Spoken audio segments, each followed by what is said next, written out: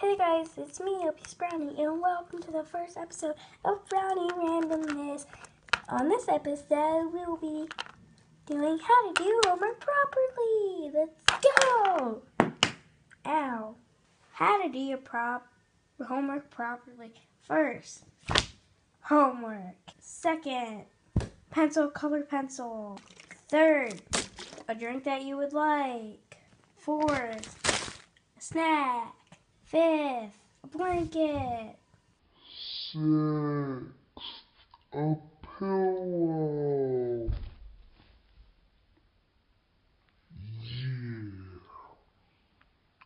Seven, stuffed animals. Yeah.